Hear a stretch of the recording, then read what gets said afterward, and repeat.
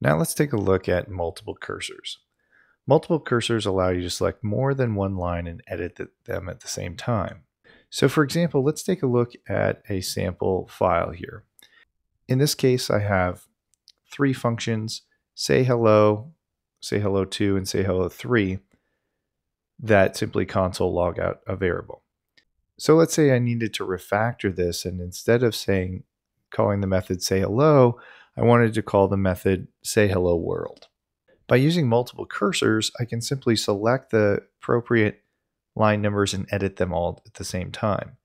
There are a couple handy commands that allow you to do this. One is I can just simply select, put my cursor at the place I wanted to, uh, hit control, hold down the command key, and simply click on the various different areas.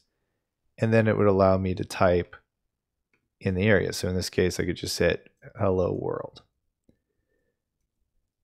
So another way to do this would be to highlight the word itself and then use the command command D to select every occurrence of the word. So in this case, it starts top down and allows me to select them one by one.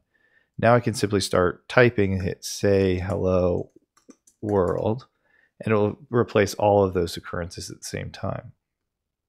A shortcut to this would be to select the text and use the command control command G, which would automatically select all occurrences of this word in the editor.